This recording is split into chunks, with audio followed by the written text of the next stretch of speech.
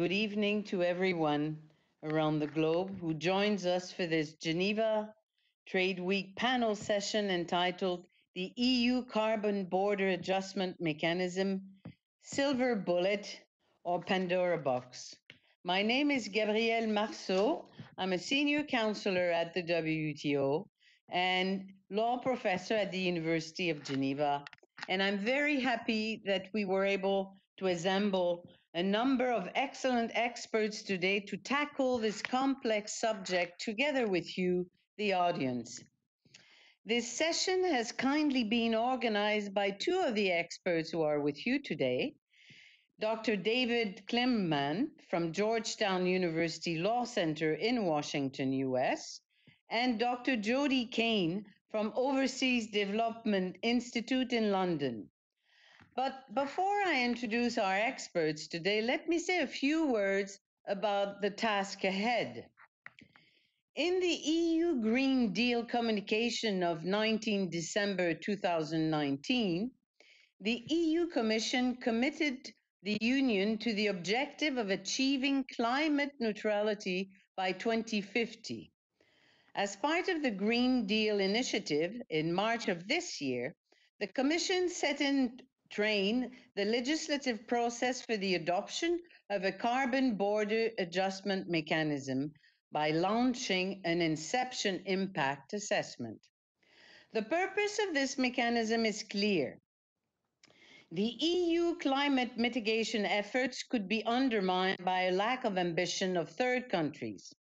And this would mean a risk of direct carbon leakage and declining EU competitiveness in energy intensive industries at the same time. Direct carbon leakage occurs inter alia when companies transfer production to countries that are less strict about emissions. In this case, global emissions would not be reduced. The mechanism would counteract this risk by putting a carbon price on the imports of certain goods from outside the EU and potentially rebate the carbon price already paid for EU production when exported. The exact design of this mechanism, however, is far from set in stone, and the European Commission is expected to deliver a proposal by mid next year. Our panel today will address the question of which policy design would be most suitable from a legal economic, and political perspective, drawing from four briefing papers which the European Parliament commissioned to a group of eight research scholars at and around the Brussels based think tank Bruegel. Four of those experts are with us today. In a second step, our panel will turn its focus on the implications for this EU border adjustment the implication that may have for third countries and developing countries in particular. Some of the main concerns regarding the imposition of CBAs in general relate to the equity and principle of common but differentiated responsibility within the UNFCCC framework. For instance, the EU border adjustment may be applied regardless of countries' classification. But increasing the cost of trade for some developing countries could affect development trajectories as well as have adverse effect on least developed countries and small island developing states, even if they are exempted formally from such measures. Two of our panelists today will attempt to show what can be done to avoid such unintended consequences. Let me now briefly introduce our panelists with us today. First, Professor André Sapir from the think tank Bruegel in Brussels, who will speak to us about the origins of the EU Carbon Border Adjustment Initiative and potential responses from large third countries' economy. Second, Professor Gabriel Felbermayr is the president of the Kiel Institute for International Economics and will explain to us the economic rationale of CBAs, the border adjustment, and present what he views as the ideal carbon border adjustment mechanism. Third, Professor Lionel Fontagné is based at the economics think tank CEPII in Paris and will outline the different policy options for us that the EU has at its disposal. Fourth, Dr. David Kleimann, one of the organizers, is a visiting research fellow at the Institute for International Economic Law at the Georgetown Law Center in Washington. He will shed light on the legal feasibility under EU and WTO law. Dr. Jodie Keane from the Overseas Development Institute in London will speak about the potential of unintended consequences for developing countries' perspectives that they mean to avoid. Stephen Février is head of the delegation of the Organization of Eastern Caribbean States of the United Nations and will provide the perspective of small developing countries and their likely course of action. And last, but of course not least, you, you, the audience, mm-hmm. who we very much want to take part with your questions in the final third part of this session. About those questions, there are two ways for you to present questions to us. You can raise your virtual hand with the hand button in the Webex window, and the fabulous support team in Geneva in the background will manage the waiting line that develops. To start with, we'll have three of your present questions right, and then another turn of questions after the panelists offer brief responses. You can also send your questions directly to me after the first part with the panelist statement, and I will read three questions loud, and then panelists will respond. Please make sure that your questions are sent to all panelists and not to specific panelists. We very much look forward to speaking to you in this last third session. Time is running, so let's jump right into the discussions and see what our panelists have to offer today. André, the EU Border Mechanism Initiative obviously didn't come out of nowhere, but has a history to it.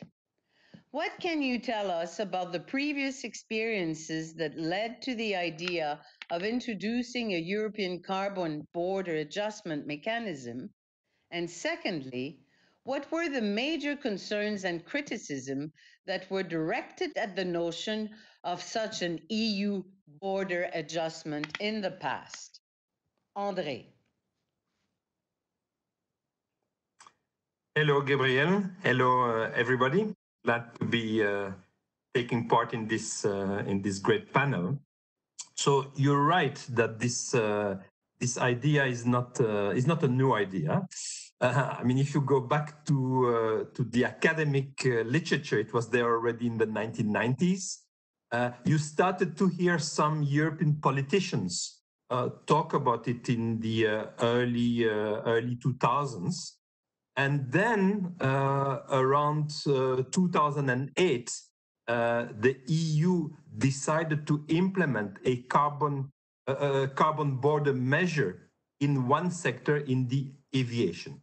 That was the time when the EU decided that uh, ETS, the, the, emission trading schemes, the domestic uh, EU measures to mitigate uh, carbon emission needed to be extended to the aviation sector and at the same time to introduce external measures, border measures, uh, the, uh, the, uh, the, the, CB, the CBA.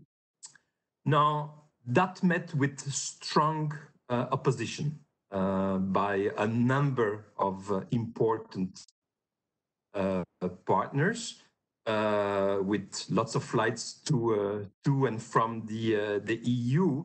And uh, given the stronger position, the EU essentially abandoned one can say, suspended the application of the CBA-like measures. So the EU kept the ETS in place, sort of the domestic measures for inside the, the, the EU. Uh, there is uh, uh, an emission trading scheme for, for the aviation, but they suspended the measure for uh, the international flights uh, outside of the uh, outside of the of the EU.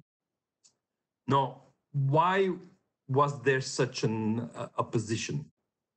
in fact, the opposition was not so much on immediate economic grounds, because in fact the tax, both since the internal EU tax and the external tax was at a rather low level. So the economic impact uh, of the measure would not have been uh, that uh, that important. It was mostly a political uh, opposition, and the, the, the political reaction was based on the view uh, that it implied violation of sovereignty, because uh, the measure would have applied not only in uh, over the European airspace, but also uh, on the airspace outside of the EU. So let's say a flight between uh, Brussels and uh, and uh, let's say uh, Tokyo. you know, the, the the the measure would have hit not only over the European space but also over the entire flight between uh, let's say, uh, Frankfurt and, uh, and, and Tokyo. So the opposition was really a political opposition, was so strong said that, that the EU dropped the measure, although one can argue that the EU got something out of this measure, which was and still is a discussion at the international level uh, to try to come to an agreement, uh, an international agreement to reduce uh, carbon emissions by uh, by airlines. So if you look, if you want to know what is the bottom line, the bottom line is that this was the only case of an international uh, CBA, the only time that domestic measures were supplemented by international measures, border-like uh, measures. That did not go down well. It means that today there is no such uh, example anywhere in the world. So the EU new measures would be first. Thank you, André. That's very interesting, particularly in light of the fact that to date, many argue that there has not been a significant leakage effect of existing CO2 pricing policies yet, at least. Now, turning to you, Gabriel, my question is Is the lack of leakage surprising to you? And what do the models predict regarding future carbon leakage? Gabriel? Uh, and, uh, thank you, Gabriel, and uh, good afternoon, everyone. Yes, indeed, uh, there is uh, quite a bit of uh, econometric evidence on the question whether carbon pricing regimes uh, do lead to direct carbon leakage or not. Remember, direct carbon leakage means that the domestic CO2 pricing leads to a replacement of uh, domestic production by foreign production to increasing imports of CO2 intensive goods so that the overall effect of such unilateral uh, carbon pricing remains ambiguous. It could even be that the global emissions go up if clean domestic production is replaced by CO2 intensive foreign production.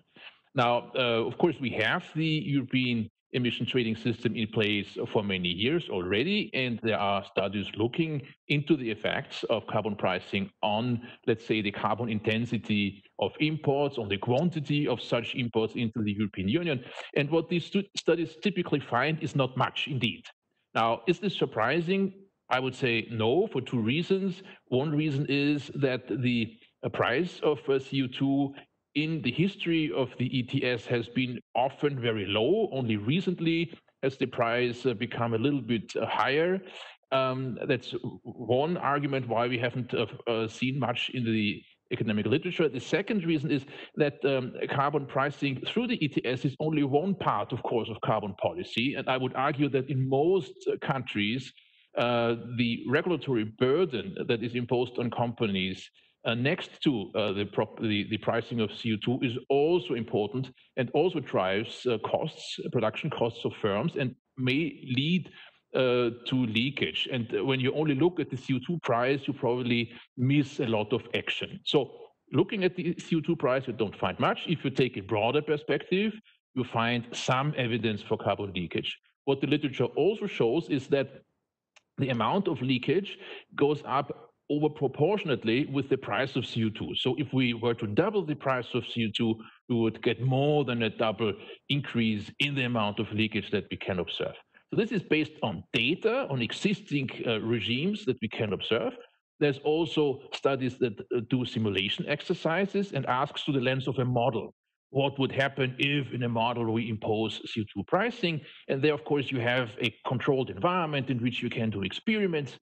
And what uh, those papers typically find is that um, uh, leakage uh, amounts to something like 15%, or in other words, 15% of the territorial savings in emissions that uh, are achieved through um, carbon pricing, for example, or cap and trade system are offset by higher foreign emissions. So 15% is not enormous, again, but the simulation studies too give us uh, that lesson that as you increase uh, carbon pricing, or if you make cap and trade regimes more narrow and more stringent, then that amount would go up very quickly. So there is a rationale for having uh, a carbon border adjustment mechanism.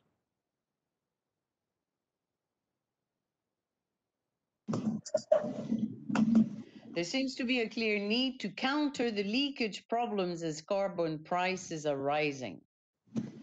Lionel now. Thank you for agreeing to join us today. Please enlighten us about what policy options the EU has at its disposal in its endeavor to implement an effective CBA mechanism. Lionel? Thank you, Gabriel, and uh, good afternoon, everyone. So before uh, looking at uh, the policy options, uh, it's certainly useful to clearly understand what exactly the question to be addressed by the policy is. And so I, I will really uh, adopt the reasoning of an economist. And I, I just said that if the problem is the increase uh, at the world level of you know greenhouse gas emissions. So this is a global issue because climate is a global good. And so what we need at the end of the day is a global solution. And the global solution that an economist would propose is typically one worldwide carbon price. This is not what happened yet. And so I don't think that we will uh, see it uh, very soon. And for different reasons. Uh, one is the incentive problem, because if Europe, for instance, reduces uh, its emissions, then it will reduce at the end of the day the incentive for other countries to join. Because if Europe reduces its emission, it will reduce uh, the, the, price of uh, you know fossil energy at the world level. And so this is directly an economic incentive to uh, increase the consumption of these fossil fuels uh, elsewhere. And so this comes on the top of the direct leakage that was just discussed by, by Gabrielle. So this is the indirect leakage. So this is the, the, the, first problem. The second problem is the free riding, because uh, if Europe increases uh, the effort, then uh, the, the rest of the, the world can decrease the, the effort. So there is a free riding problem. We will have free riders around. And uh, the, the, the, the, tougher the policy you adopt, uh, uh, the, the highest the, the possibility of uh, free riding, the probability of free riding. And now there is uh, another issue uh, that will be addressed, I guess, by, by Jodie and by Steve, which is the fact that low-income countries are actually penalized by former historical emissions of high economic, high-income countries. So for all these reasons, the EU adopted a local policy, a policy limited to the EU, Uh, so first, uh, we have uh, the system that has already been uh, described by Gabriel, the emission trading scheme, the ETS, which is basically a cap and trade system applied to carbon intensive industries. Plus, don't forget it, this has been said by Gabriel, at the country level, a taxation of carbon in transport, a taxation of carbon in housing, etc. And the EU took international commitments uh, during the, the, the, Paris conference and uh, in, the, in the Paris Agreement. So this is the local policy. It has to be complemented with another policy. And so let's look at the options. So just recap what the objectives are. There are three objectives. So the first is to reduce European emissions significantly.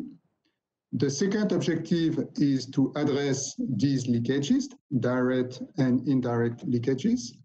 And the third, don't forget it, is to incentivize other countries to join the efforts. So what can be what can be done? What can we do?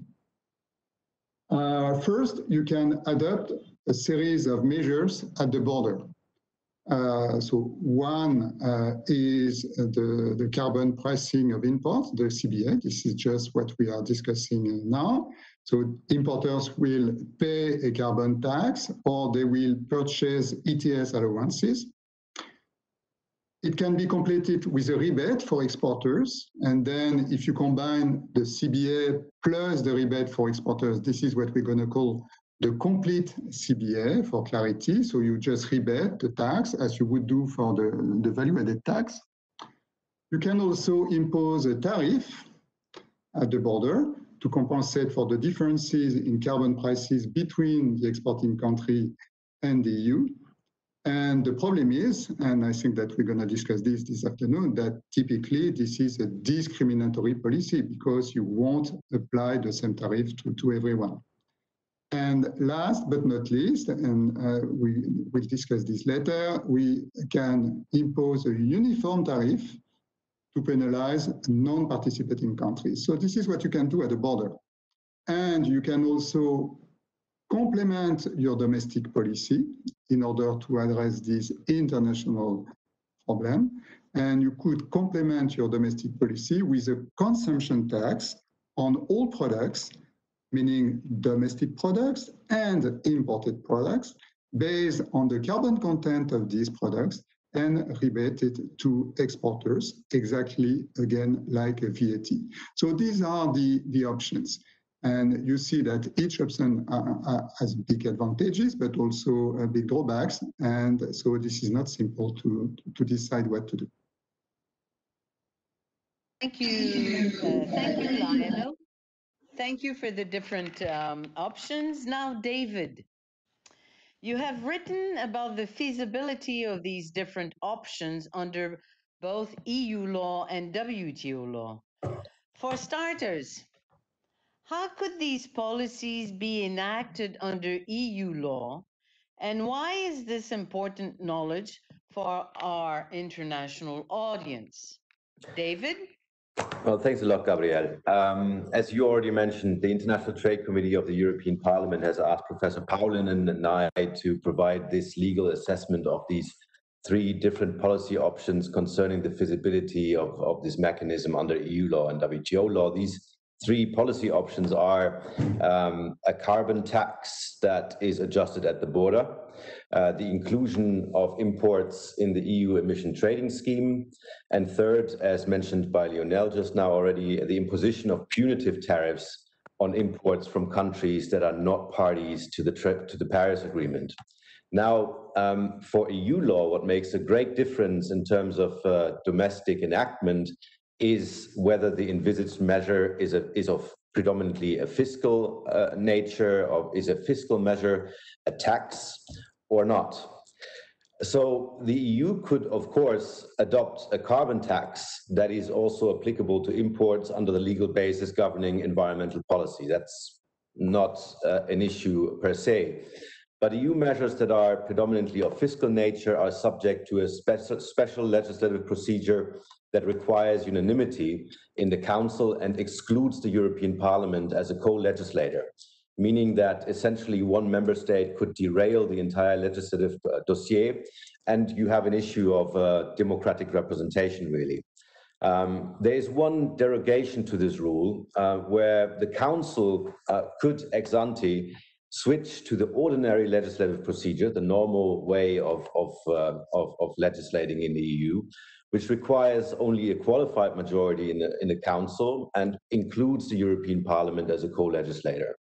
But the council can only do this once again by unanimity, so that remains complex. And the problem remains that one member state could block the entire effort. And that is really why the Commission and the European Parliament have every incentive to propose a measure that does not involve taxation. What is much more realistic in any case is that the Commission would propose a measure that builds on existing on the existing emission trading scheme instead of turning to carbon taxation. And one option that is currently being discussed in Brussels, as far as I'm informed, is to require importers to purchase emission allowances at a product unit price that reflects the union average per unit emission cost. In other words, this measure would mirror the ETS, the, the emission trading scheme at the border, and impose an EU average cost, carbon cost per unit on imports. This measure could be adopted uh, quite normal with the ordinary uh, legislative procedure with qualified uh, council majority in co-decision with the European Parliament and under the treaty legal base legal basis for environmental policy and or the legal basis for external trade policy. So blocking this effort would really require opposition from several member states. Um, what finally uh, could also be done is the EU could, of course, also seek to impose a punitive tariff, as mentioned by Lionel, um, on countries that are not signatories to the Paris Agreement or do not implement their respective obligations. Uh, to that end, the EU would have to extensively amend the existing trade enforcement regulation um, and from a WTO legal uh, legal perspective, um, this such a measure would be highly problematic in light of the past rulings of the WTO appellate body. Um, but uh, let me get to that a little bit later when we talk about um, WTO compatibility of of these uh, of these different options. Gabrielle.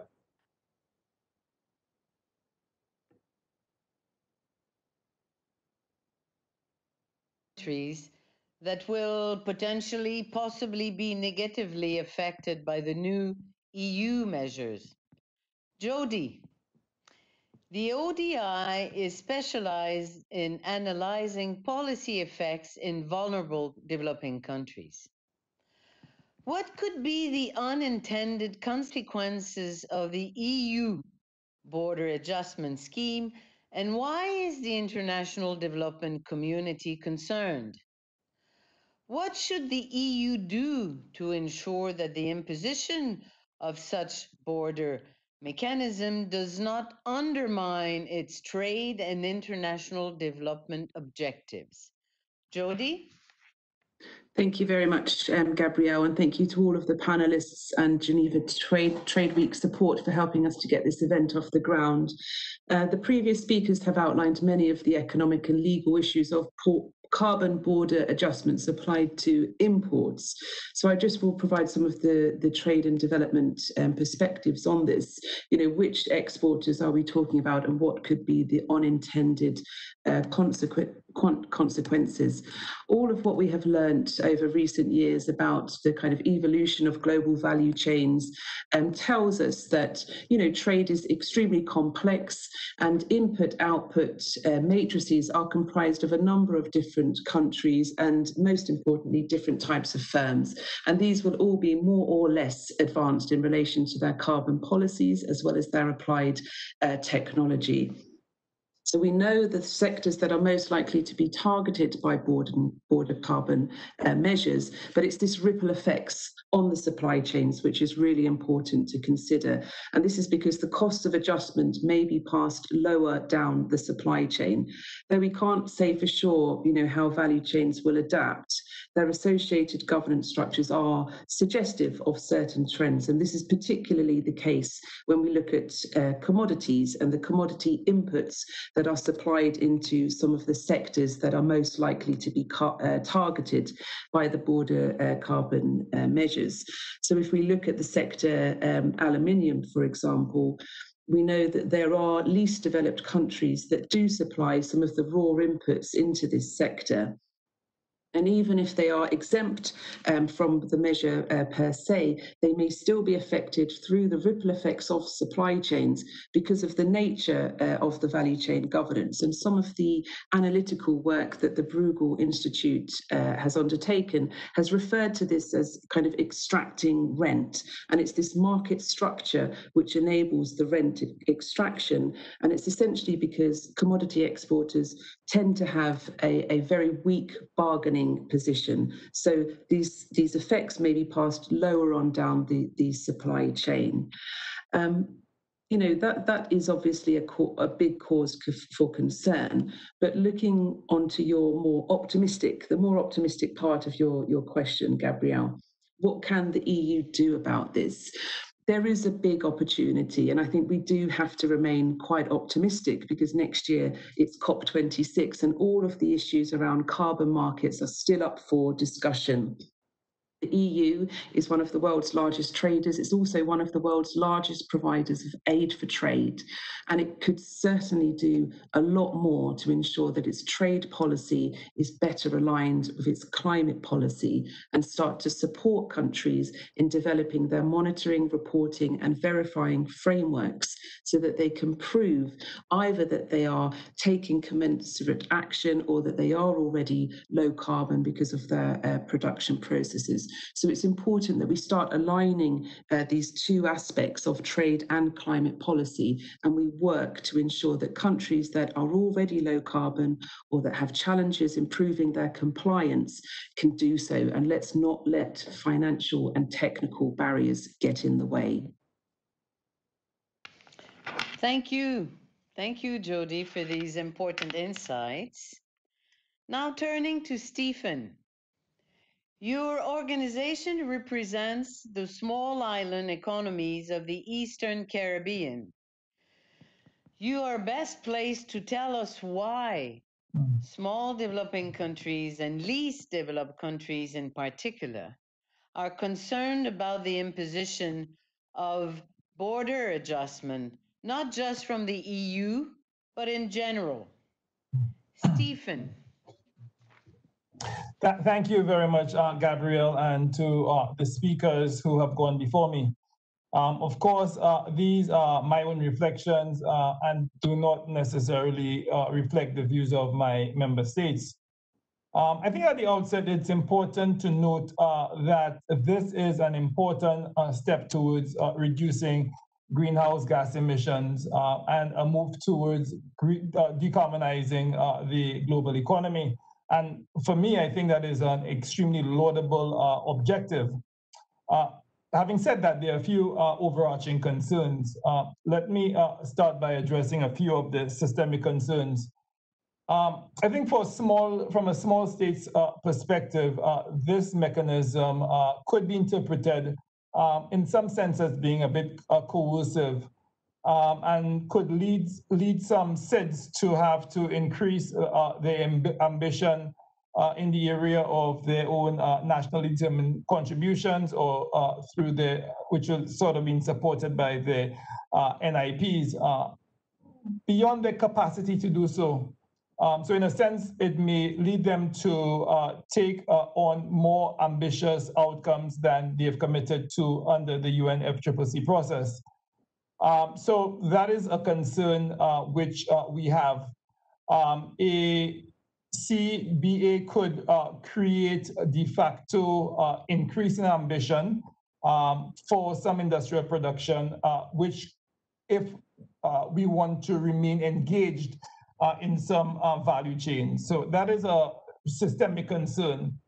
Also, the CBAM uh, will have some extraterritorial impacts and in a sense could be seen as a de facto uh, uh, setting de facto standards uh, which we will have to comply with. And of course, uh, this is not dissimilar to recent experiences that small states have had with uh, the harmful tax initiative, um, also the GDPR, um, and more specifically uh, on carbon markets, uh, the discriminatory air passenger duty, which was alluded to earlier. So again, uh, is this de facto standard setting and would there be opportunity for consultation? Um, critically, uh, this appears to be a departure from, in my view at least, from the UNFCCC process. Um, and it may lead to the imposition of a measure with global effect uh, and impact uh, without sufficient consultation with those who will be uh, most affected by the measure, uh, particularly small states uh, and least developed countries.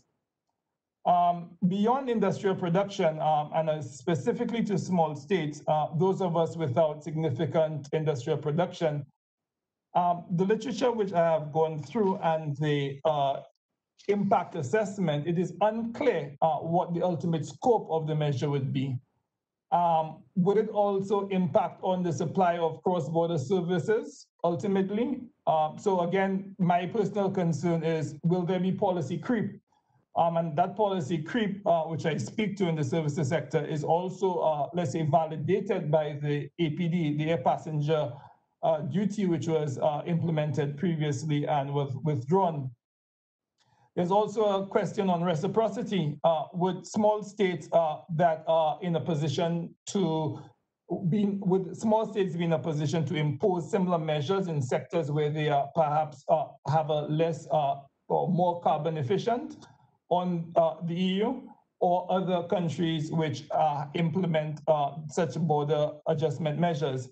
I think ultimately it is an important move uh, to quickly uh, and effectively reduce carbon emissions. But there, I think, is a need to ensure a sufficient uh, level of consultation. Uh, and that consultation should uh, better uh, take into account the concerns of small states and LDCs. Thank you, Gabrielle. Very serious concerns. I agree. After this first round of remarks, we now want to delve a little bit deeper into the subject matter, starting with a closer look at the different policy options. Lionel. Nobel Prize laureate William Nordhaus's famous Climate Club and a consumption tax seems to be possible alternatives. Tell us more about these two options. Thank you, Gabriel. Uh, so, um, first of all, uh, we have to uh, maybe summarize what the rationale of the CBA is. So the idea is just that uh, non-participating countries, when there is an effort, uh, when there is a reduction in emissions, non-participating countries, at the end of the day, subsidize their carbon intensive industries because they don't participate. And so the CBA, which is currently contemplated by the EU, will definitively change the payoffs of this game. So this is good news. Second, the CBA would reinforce the political acceptability in the EU. You know, uh, people in the EU don't like taxes, and if imported goods are taxed as well, then uh, it's maybe more acceptable from a political point of view. And last, if uh, we can uh, observe and impose on the basis of the actual carbon content of the exported product, then this will fix the direct leakage. So this is the rationale of this uh, measure. Now there are limitations too. The first limitation is just operational. The thing is that the actual carbon content is not observable. You cannot observe it for the reasons that Jodie already mentioned. So there are complex GVCs behind it. And there is also an important element, which is that there is no uh, interest, there is no incentive uh, to disclose what the, the content is. So the exporter won't disclose the content. And so as David said, we will be obliged to use the EU average carbon content of products because the exporter won't disclose the exact content and the, the exact content might be much higher. there is also a legal problem, and I leave this uh, to, to, David later on, but uh, there is a problem of feasibility under the WTO and the EU law. There is a strategic problem. Uh, the strategic problem is the probability of uh, retaliation by countries affected by this CBA. And there is also an economic problem. The economic problem is that the CBA does not address the indirect leakage that I mentioned before. And to me, the indirect leakage is nowadays the key problem as the US left the uh, United States, left the Paris Agreement. So th this is the landscape. So what can we do? As you said, Gabriel, the first alternative is a consumption tax. So the advantage of the consumption tax is to avoid the risk of interna international retaliation. And so under certain conditions that I won't develop, we don't have time, uh, this is equivalent to the complete carbon border adjustment. So it's going to treat the same way domestic production and foreign production. It will act, if it is well designed, on all the steps of the value chain. And it will target domestic products as well as imported products, but not exported products, which is the advantage of this, this tax. So the domestic producers and the foreign producers will pay the carbon tax when they sell their products to domestic consumers, but on the other hand, no producer, be it domestic or foreign, will pay the tax when it serves foreign consumers. So there are big advantages in the consumption tax. And last but not least, the tax revenues could be redistributed to production sectors to support cleaner production technologies. The problem is the political economy. So introducing a new tax in the current political arena of the EU is certainly not something easy to do. So there is, as you said, Gabriel, a second possibility, it has been, you know, envisaged, contemplated, at least in the literature, which has been uh, proposed by Nordhaus. This is the climate club. So this is a club, somehow, of countries having the same views about the climate change and how to proceed. So the advantage of such climate club would be to address directly the free riding problem. How would it work? So a uniform tariff on imports from countries that do not impose carbon policies internally would be uh, introduced at the borders of not the EU, but more generally of this club of countries having the same view about climate change and how to uh, fight this climate change. So directly, this will target the free riders, the countries that free ride, and this will be an incentive to join the club. This is not a carbon tax in the sense that it is set whatever the good and whatever the carbon content of that good is. So this is just a punitive tax. It, does not need to be very high, a couple of per percent, but this is just to punish somehow countries that are not engaged in uh, the in, in, policies for for climate. Uh, then you get a tariff revenue, and the tariff revenue can be used to support climate-friendly policies in low-income countries. And the problem is, indeed, because there are problems, that it will only marginally reduce the leakage rate, leakage rate, sorry, and that is it has an impact only on countries for which exports are large enough in proportion of their GDP. And indeed, this is not the case of the United States. And we are again back to the more, you know, uh, geopolitical uh, situation problem. Thank you, Gabriel. Thank you, Lionel, for these sort of three options. Now, Gabriel, you have written and spoken about what you consider to be the ideal carbon border adjustment. What would this look like, in your view, and how much can such a mechanism reduce the leakage rate at maximum? Gabriel? Yeah, thank you. So, uh, what carbon border adjustment uh, should do in theory is move carbon pricing away from territorial emissions, So the emissions that are produced by factories or trucks in Europe and burden consumption by a carbon price. So uh, independently of where goods are produced, they should bear a price according to their carbon content.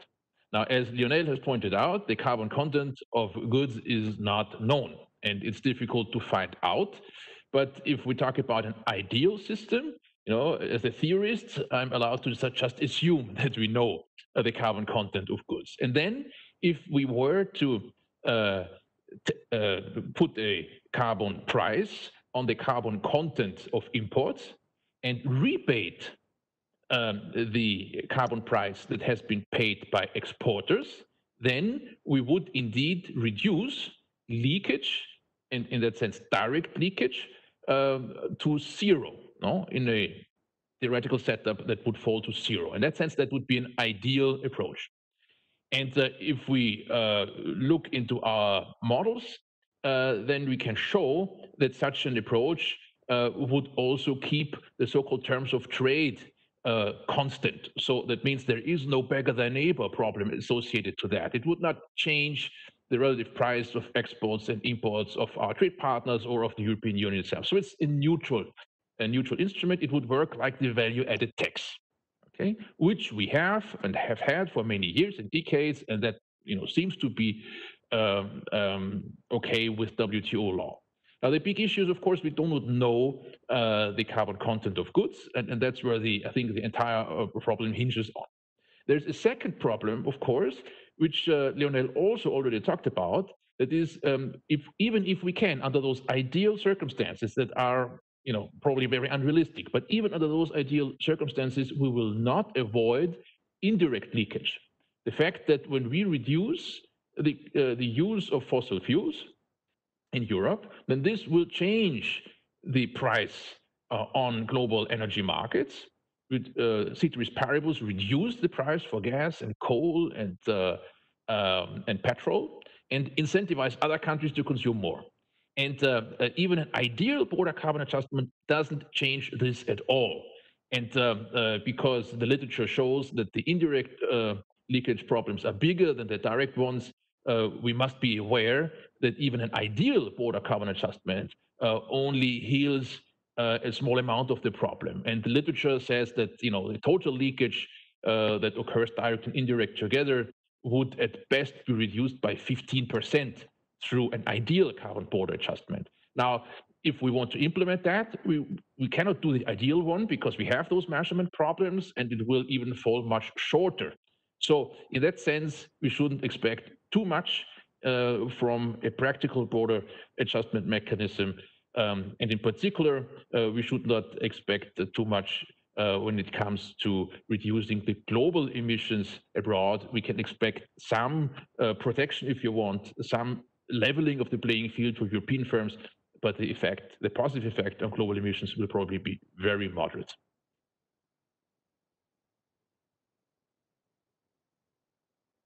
David, let's go back to the legal side of things. Uh, because the different EU institutions have made clear that WTO compatibility of the future uh, border adjustment uh, mechanism is an absolute must. What can you say about the compatibility of the different options just discussed, and uh, in particular with respect to WTO rules? David. Thank, thanks, Gabriel. I think that's a that's a big question to answer for in, in three minutes, but I'll, I'll do my very best. Um, so I think what is true is that uh, many commentators today agree um, that at least certain types of adjustment could pass the WTO legal tests. It's also true, I think, that much of these details, or much much depends on uh, on the details and the exact design of of this mechanism. Uh, if we put that in slightly more cautious language, I think it's correct to say that there's a relatively narrow legal space um, that in which the CBA would indeed be consistent with WTO rules. And with regard to a lot of the measures that are under discussion right now, the answer still hinges on the basic uh, original question whether production and produ processing methods, uh, and in this case, carbon intensity of production, uh, may be factored into the, analysis of WTO consistency under uh, under MFN, Article 2 and, and national treatment, uh, Article 3 of the GATT. Um, and to, to, just quickly run through, uh, you know, these respective issues uh, for Article uh, two of the GATT, the question is whether a tax on a PPM, on a production and, and processing method, rather than on the product itself, is adjustable at the border. Um, but here, this question has simply not been addressed um, in a definitive ruling uh, by a panel or the appellate body yet. For uh, MFN and national treatment, Article 1 and Article 3 uh, of the GATT, the question is whether uh, carbon intensity of production uh, may be factored into the determination of likeness of imports um, and uh, domestic produced, say, steel, and would thus be and would thus per permit distinct treatment. Now, if, if that was so, um, it would of course be permissible to calibrate a carbon uh, border adjustment mechanism to the actual carbon intensity of the imported uh, products and treat such imports less favorably or differently than the domestic product. But as many of us know, uh, WTO case law gives no indication whatsoever that production and processing methods may factor into this determination of likeness. Uh, to the contrary, what matters uh, is the existing competitive relationship, and therefore the test under Article 3.2 suggests that treating otherwise like products differently on the basis of their actual carbon intensity would violate the EU's national treatment obligations. If, on the other hand, um, a CBA would charge a cost on imports that is the exact same rate as the domestic product, a carbon tax or a CBA measure would certainly be defensible. The same is true um, for the uh, slightly more realistic case, say the uh, for a regulation, um, notably uh, the emission trading uh, scheme of the EU that requires the purchase of allowances for imports. Now, if the allowances purchased per imported product unit does not exceed the cost per unit charged for the domestic like product, this regulation would be defensible under Article 3.4 of the GATT. And similar considerations, of course, also apply to the question as to whether a CBA would be consistent with MFN under the GATT. If, for instance, uh, in the case of steel, um, from different origins, uh, they were treated differently based on the amount of carbon used in production or um, the carbon pricing regime of its origin country. The CBA would stand in conflict uh, with the EU's MFN obligations. On the other hand, um, if a product based on tax or uh, on if the if a product based uh, tax or charge uh, does not differentiate among carbon intensity of production in the origin country, um, this measure would likely uh, withstand uh, article uh, a, a, challenge under Article One. Um, so the important takeaway from this is really that um, the more the EU CBA calibrates towards actual carbon intensity of production of the production process in the origin country, the more likely it will be inconsistent with Article 1, 2, or 3 uh, of the GATT. Um, now, that is from a perspective of carbon emission mitigation uh, not satisfactory uh, because it does, just simply doesn't allow uh, the EU to account for the actual carbon footprint of production abroad. Um, but if lawmakers decide that they do want to calibrate uh, the CBA to differences in carbon intensity of production uh, or carbon costs already paid uh, in third countries, um, that measure could still be sheltered uh, by exceptions in GATT Article 20b and GATT Article 20g uh, uh, with regard to measures relating to protect, protection of human health or uh, the conservation of exhaustible resources. What matters here in the first place is, of course, whether the EU can establish that the measure credibly aims at an environmental objective. These are environmental exceptions um, and, and whether it is least uh, trade restrictive compared to other measures. I think um, the first condition would really require the EU that the EU enacts and defends that measure purely based on environmental objectives and not competitiveness or trade concerns. Um, the second condition might be relatively easy uh, to meet, uh, given that a CBA compared to a complete import ban would be a relatively open policy. But in addition, Article, the Article 20 GATT exceptions uh, require that the measure is really applied in a way that does not amount to arbitrary or unjustifiable discrimination between uh, countries where same or similar uh, conditions prevail. And in practice, that means that the EU would have to uh, allow third country producers to demonstrate that they produce at a carbon and carbon intensity that is lower uh, than the respective benchmark, or show that they have paid a carbon price that must be discounted towards the EU's um, CBA charge. And moreover, it would also require the EU to open negotiations with third countries, and I think Andre will speak about that in a minute, um, uh, to mutually recognize each other's carbon uh, pricing regimes. What the, what the appellate body really didn't like and has condemned uh, to that effect, uh, however, is um, measures that have a intended or actual coercive effect on specific policy decisions made by foreign governments. So, uh, in other words, imposing a punitive tariff uh, that we've talked about in the previous uh, presentations um, on imports um, from countries that are not party to the Paris Agreement or do not have the same carbon price policy as the EU, that was seen that would be seen as coercive and hence uh, very difficult to justify in in litigation. Um, now, I think there, there are a number of other contentious and perhaps legally more interesting questions uh, or, or also exciting questions, for instance, regarding the, the border adjustment of the ETS uh, for exports or the actionability of free allowances under the SCM agreement. But um, you know that goes a little bit too far and uh, and and and sort of uh, goes beyond the time frame that has been set by you, Gabrielle. So let me stop here and uh, and uh, and turn back to you. So WTO compatibility is clearly possible, but it depends on the choice of measure and it's a complex issue. However, we still do not know how large third countries, such as US or China, plan to act in response to the new EU measures. André, which potential scenarios do you identify and what do they depend on? How could the EU influence a positive reception of its carbon border adjustment mechanism? André? Yes, Gabriel, those are very, very good, uh, very good questions. Um, I think essentially there are three, three potential uh, scenarios. A very positive scenario, I would say a mildly negative scenario, and a in a very negative uh, scenario. Now, the, uh, the positive scenario is one whereby the EU uh, introduces its measures, so it's very ambitious domestic measures, supplemented by some form of uh, CBA.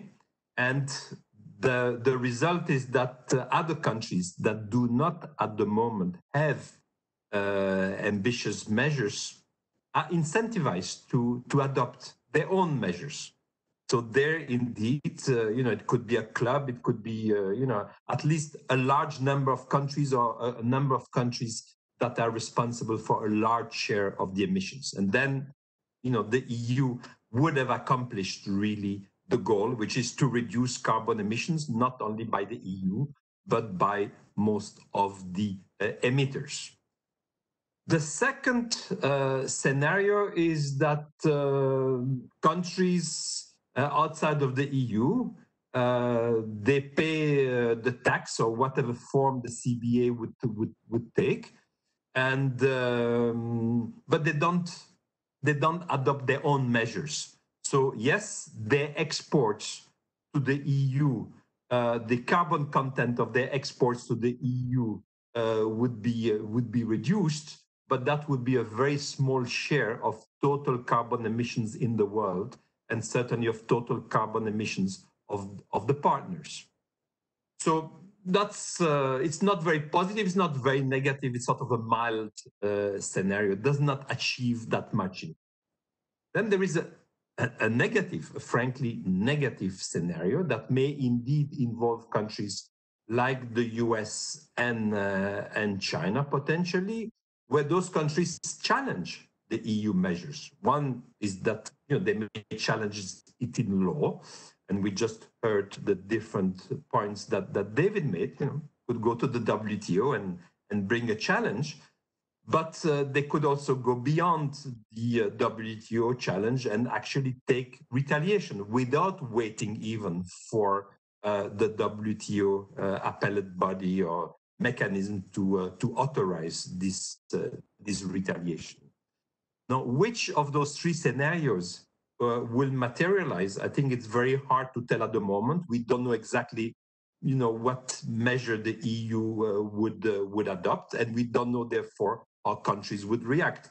Uh, what we did is Henrik Horn and myself, who have worked on this, we interviewed foreign diplomats to try to assess from a number of large countries, from sort of major G20 countries, both uh, emerging and advanced ones. And we try to, you know, see what is the informal reaction. And there was clearly concern, concern about protectionist abuse, concern about unfairness, as we heard already from uh, developing countries. And then there were criticism about the process, that there's been a lack of bilateral consultation so far by the EU with some of its main partners, and also lack of consultation in, the multilateral uh, framework. So what we did, Henrik Horn and myself, in the paper that we wrote for the European Parliament's uh, Trade Committee, uh, we did very much recommend that the uh, EU, that the Commission essentially addresses those concerns and criticism and engages into a process uh, both bilateral process and multilateral process with the main trading partners. Uh, now, whether that will be enough as far as the China and the US, which are obviously the two countries that have the most capability of using retaliation, uh, whether that would be sufficient to engage into a process, that is difficult to say. And I think that will depend both on their domestic processes, uh, how are they evolving in those two jurisdictions about their own thinking about reducing carbon emission, and on the other hand, about uh, EU diplomacy to engage those uh, those partners. Gabriel. So, at least uh, potentially, um, uh, the new measure may backfire if the EU does not take precautions. Jodie. From a developing country's perspective, do you see a risk that border carbon adjustment might be counterproductive in other ways too?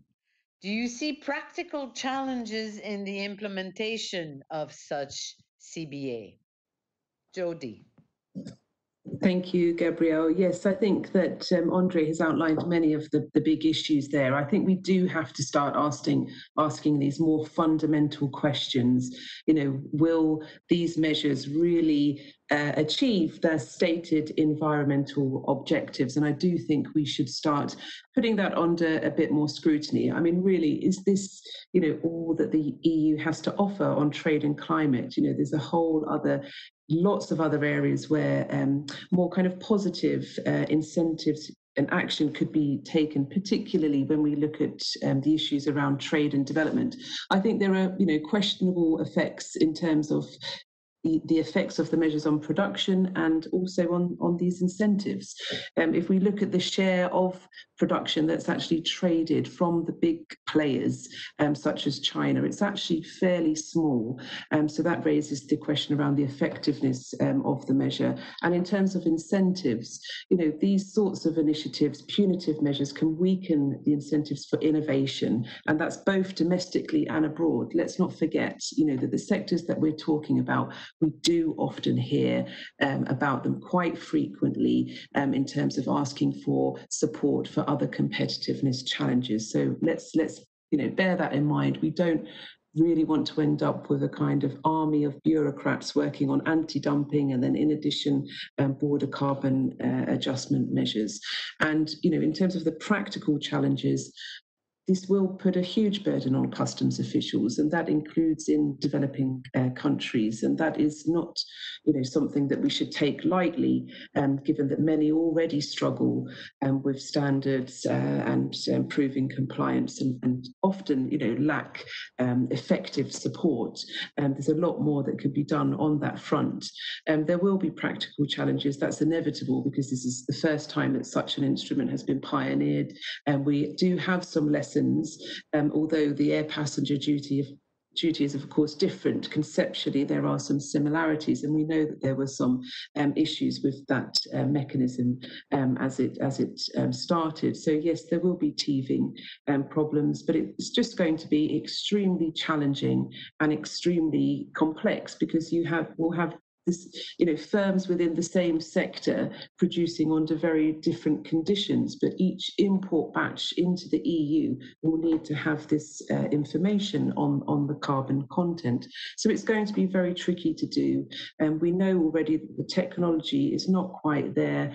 Um, there is some discussion around kind of blockchain pilots, um, but we're yet to see, you know, you know, we're, we're yet to see the results of, of these sorts of pilots. And I think, you know, it's important that we do start um, to see those if, if this is to be um, operationalized.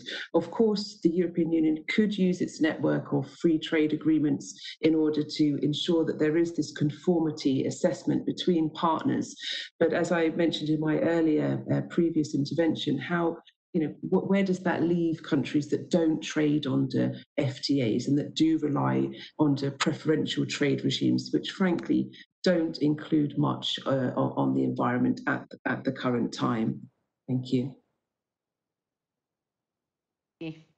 Now, Stephen, would you agree? And if so, how have developing countries approached similar issues with the EU in the past?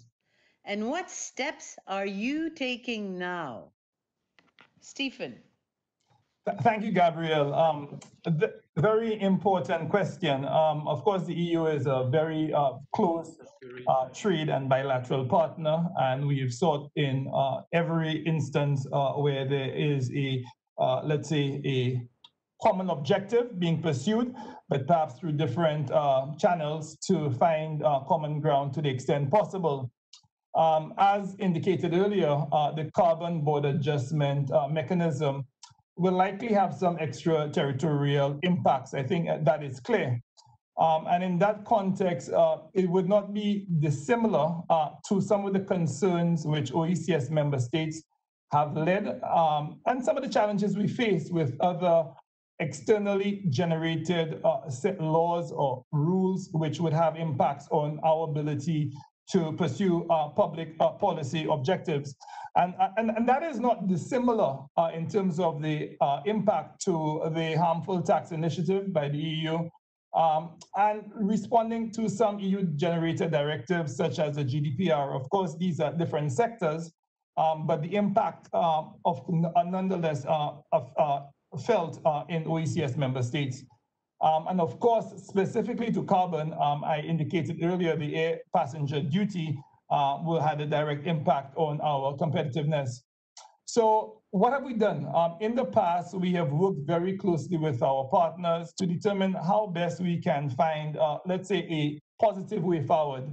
Um, on the air passenger duty, there was uh, extensive lobbying, uh, which resulted in the measure ultimately being withdrawn.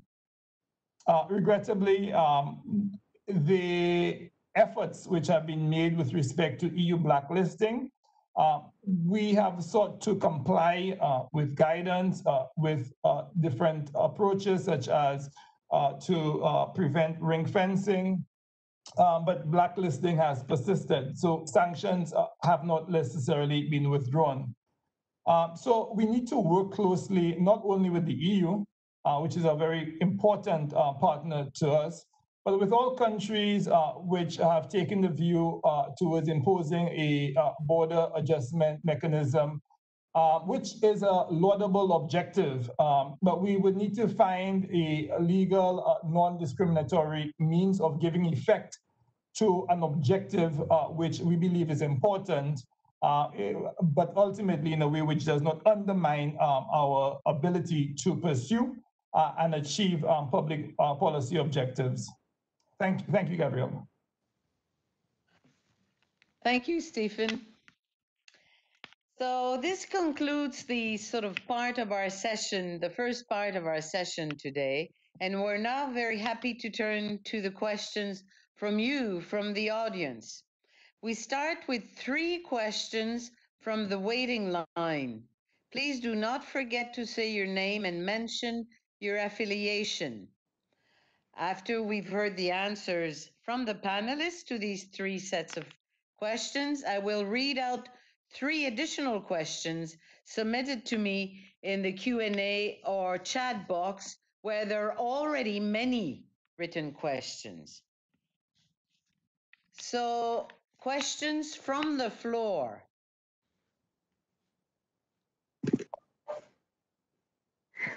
Uh, hello, uh, my name is Arthi Krishnan, and uh, uh, so thank you all for allowing me to ask this question. And this was an extremely interesting set of um, responses we got to the questions that you asked.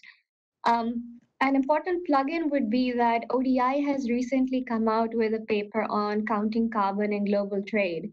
Uh, and I can post a link to that there. And this takes into account chapters from academia, international organizations, private sector think tanks, and government officials. So hopefully that can also add and fuel this discussion further. In terms of my question, um, I think the panelists have alluded to the difficulty of measuring carbon content, the importance of carbon prices, and the need for consultation with LDCs in design of these instruments. But uh, my question tries to tie this all together by asking in a world where production is fragmented across tasks and countries, and the carbon content of imports is extremely expensive and difficult to measure, how could uh, carbon border adjustments be governed to ensure fairness in who pays for what? And this question is open to anyone on the panel. Thank you very much, Artie. Is there another question from the floor?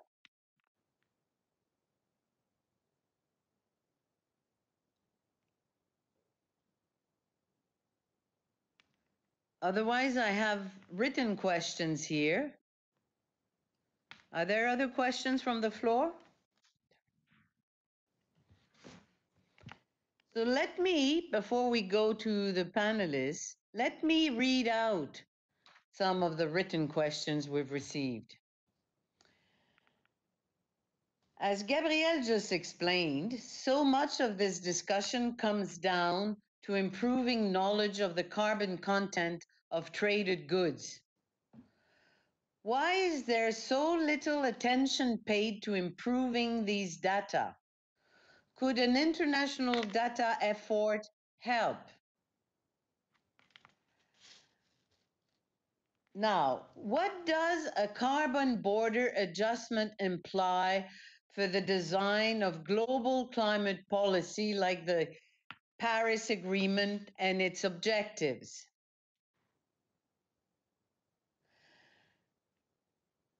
Do we have a sense of the impact of a carbon border adjustment in presence of the ETS?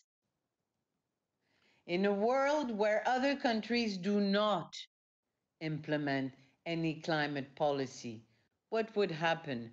So we now have four questions. I suggest that we go back to uh, the panelists in the initial order except that I understand Stefan needs to leave very soon. So I wonder, Stefan, whether you want to comment or answer uh, on any of these four questions before you leave us. Stefan? Thank you, Gabrielle, for the opportunity uh, to share.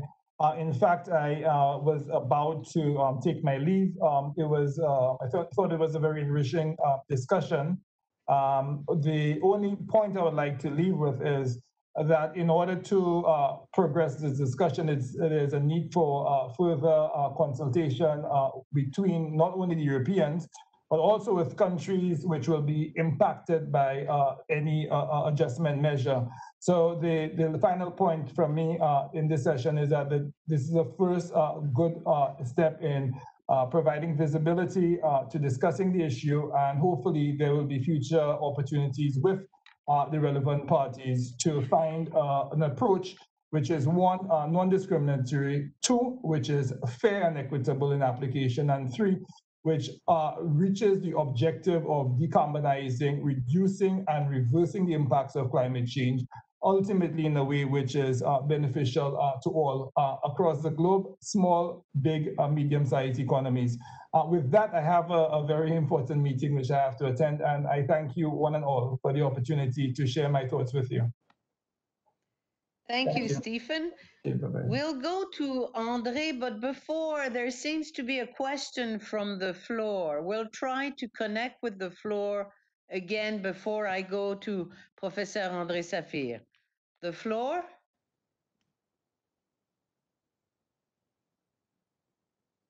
Uh, uh, it's Aaron Cosby. Can you hear me all right? Speak louder. How's this? Better. Okay, thanks. Uh, a, a, number of questions. I guess if I was going to focus on one, I, am interested in knowing um, or, or, making a comment more and getting reactions. The uh, consumption charges option doesn't seem to me to be a replacement for a CBAM. It doesn't actually address the competitiveness or leakage impacts of increased ambition under an EU ETS. It only addresses its own impacts. It relies on the free allocation under the EU ETS to deal with competitiveness and leakage impacts of the ETS itself. So I'm wondering why it's actually considered an, an alternative to a CBAM as opposed to maybe one tool in a constellation of tools uh, used uh, in, in the context of free ambition or increased ambition. Thank you. Very good question. We have now uh, 14 minutes so two minutes uh, to the each panelist. André. Thank you, Gabriel. I, I, will be I will be brief because I think that uh, Gabriel and Lionel will have more to say than I do on on some of those questions. I I, I just want to to make one point. Um, clearly, many of the questions, and rightly so, were addressed to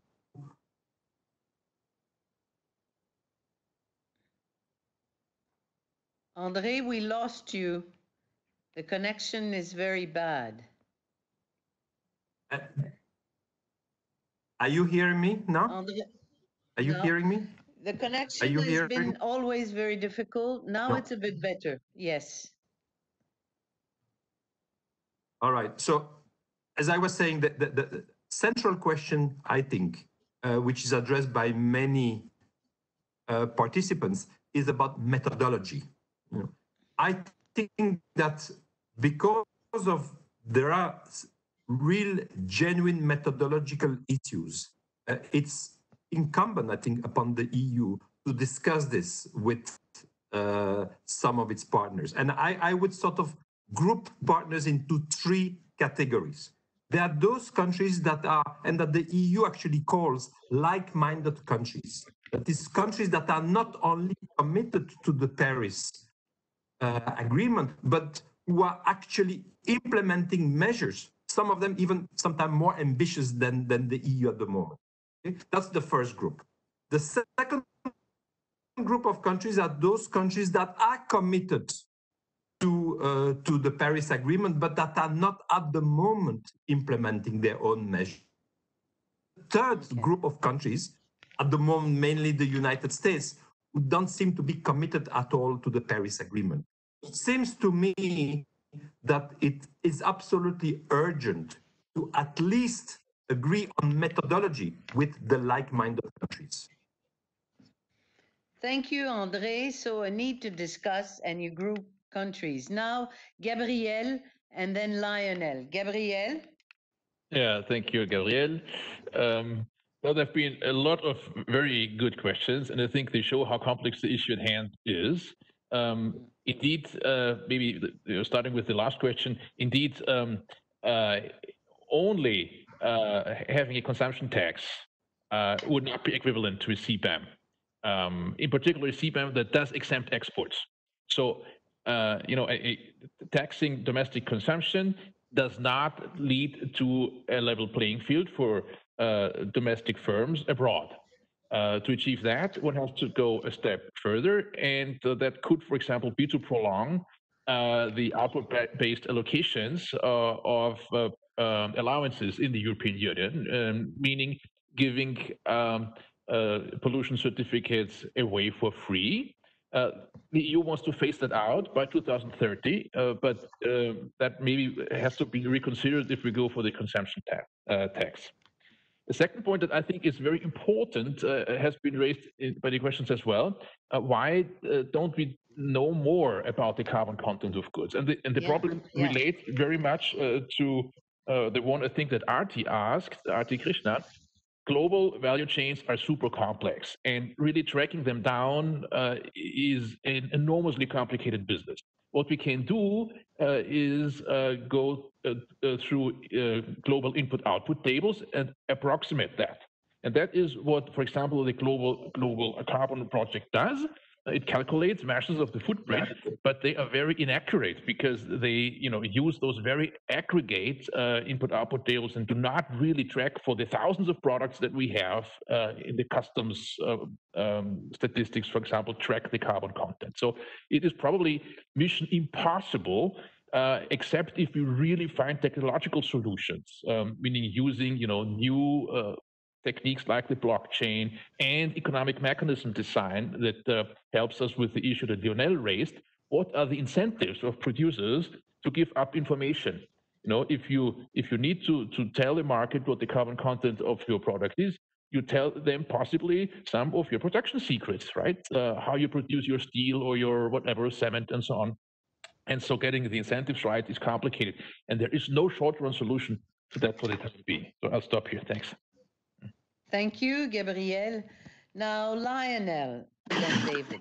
So, thank you, Gabriel. So, two minutes. So, I, I would uh, I would like to start by reinforcing the, the point just made by Gabriel about this measurement of carbon content. So, the importance indeed of global value chains, the fact that economies can rely on sector level evidence uh, so we know in a given sector, in a given country, what is the level, the level of emissions, but we, we don't know within that sector country cell what is the level of emissions of firms.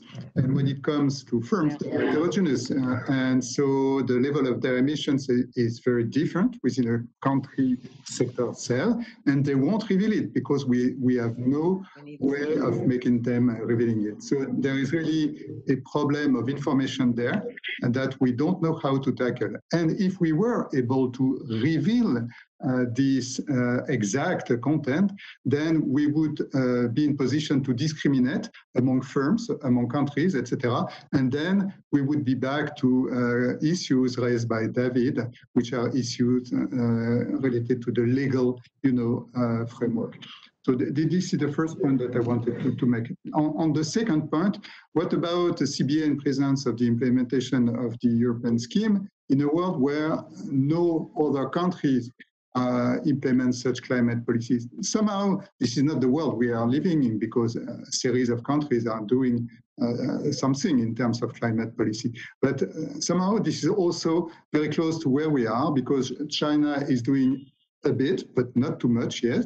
And the US decided to withdraw from, from the agreement. So when this is like this, with the, the, the CBA, what you can do is to reduce and this has been uh, explained by Gabriel, you can reduce uh, the, uh, the direct leakage, but you won't reduce the indirect leakage and you won't incentivize countries to join. And so when it comes to incentivize countries, there are different possibilities.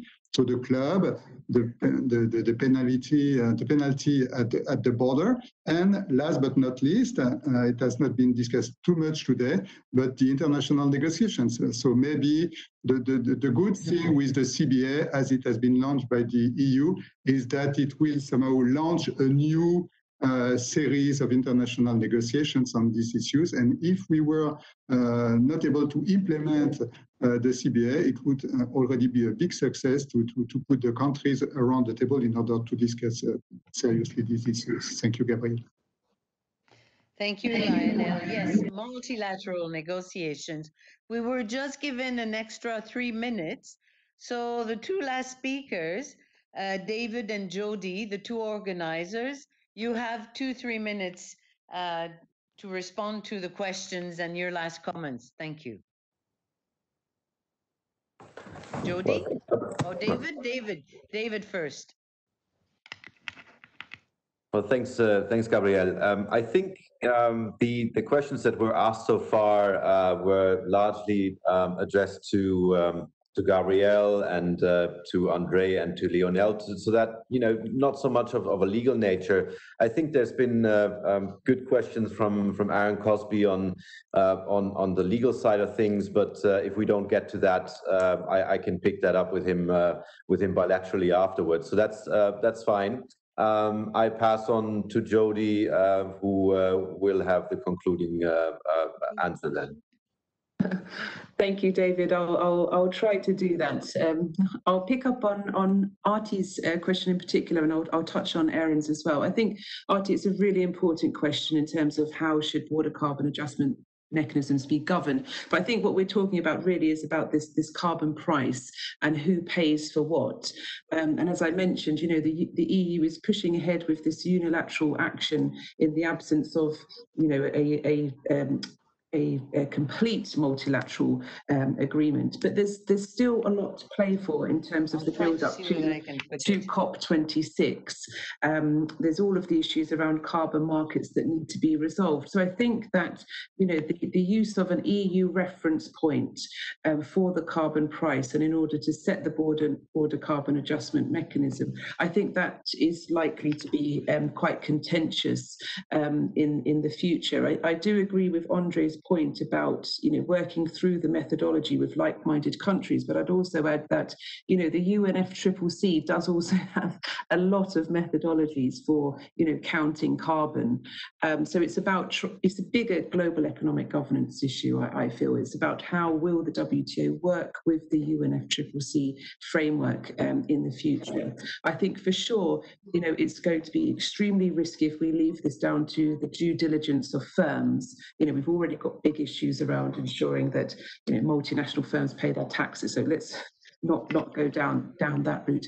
Um, to pick up on that that Aaron made about um, carbon taxes, I, I do understand the point about the carbon leakage, uh, but perhaps what we haven't covered in this panel session today um, is what happens with the resources that the EU would raise uh, from border carbon adjustment mechanisms. Where will those resources go? Will they go to plugging, you know, the 100 billion funding gap um, that exists under the UNFCCC and that everyone's working hard to try to um, plug and to so that we can you know secure more um, ambitious commitments at, at, COP26. I think that's a big question that we need to start um, asking. I think that's all, Gabrielle. You know, um, just to flag that at ODI, um, we do have a meeting series called ClimX Trade. so we'll be keeping these conversations going in the build up to COP26, of which the UK, is, of course, is a co-host um, along with Italy. Um, so I hope that you can all uh, be part of that conversation um, with us as we move over the coming months. Thank you.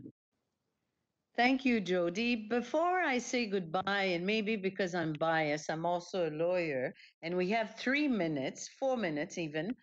Uh, David, I have a legal question that is quite good for you.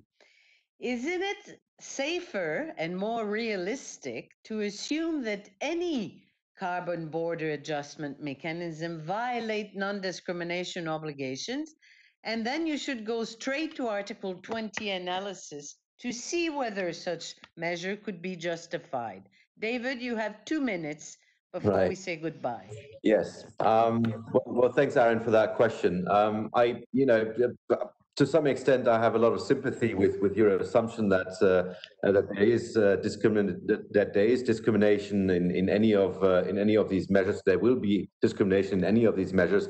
That really kind of depends on on who brings the challenge, though. So um, you know, the response or the defense, I think, would would would really uh, depend on uh, on what kind of uh, on, on what kind of situation the complainant is in. And but apart from that, I, I must say, reading a few few or quite a couple of, of those uh, WTO reports and appellate body reports, I've never seen uh, the EU just jumping straight to an Article 20 defense and giving up on uh, on a potential uh, Article, you know, sort of Article 1 uh, defense or Article 3 defense. So uh, I think they will exhaust uh, all possibilities to uh, to defend the measure under under uh, every one of uh, the provisions, the obligations, and the exceptions. Uh, so that um, I think is just a natural uh, course of things. Um, uh, whether you know there is more likelihood or less likelihood um, um, of, of success uh, in the end. Um, so with that, I, uh, I hand back to Gabrielle, and uh, she might agree or disagree. Uh, she, um, she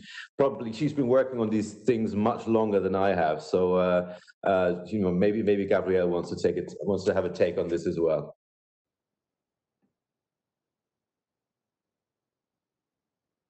Remains an exception, but an, an exception that the appellate body said is as important as the rule.